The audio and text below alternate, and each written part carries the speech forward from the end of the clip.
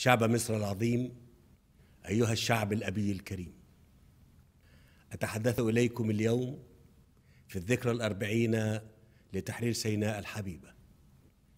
تلك البقعة الغالية من أرض الوطن التي يحمل لها المصريون جميعا في قلوبهم تقديرا.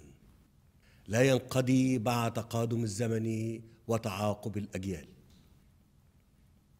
وينظرون إليها على أنها درة التاج المصري ومصدر فخر واعتزاز هذه الأمة باعتبارها الأرض الوحيدة التي تجلت عليها الذات الإلهية.